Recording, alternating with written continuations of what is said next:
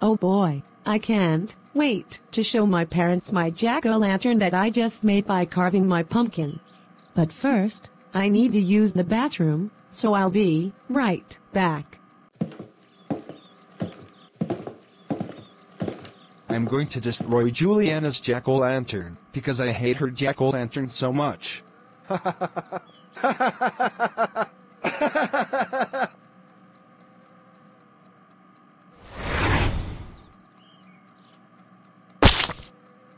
Yes! I destroyed Julianna's jack-o'-lantern.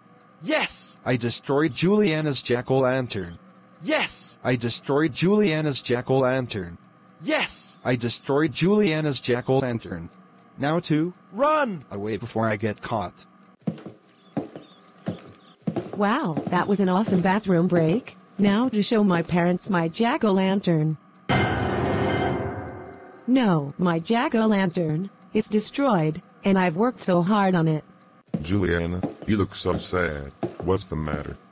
Well, Mom and Dad, I've worked so hard to carve my pumpkin into a jack-o'-lantern, and I wanted to show it to you guys, but now it's destroyed. Well, Julianna, I think we know who destroyed your jack-o'-lantern. It was Storm Bone Goomba. Hello, Mom, Dad, and Julianna. How's your?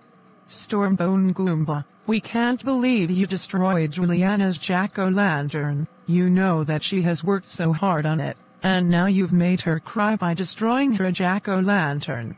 I strongly agree with your mother. You are grounded for 32 days. Go to your room right now.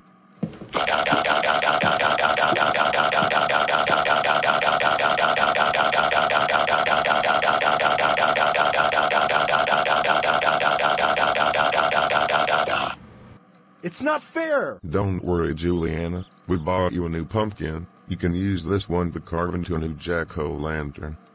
Ah, thank you so much, Mom and Dad. You guys are the best. I think I will do it right now. All right, Mom and Dad, what do you think of my new jack-o'-lantern?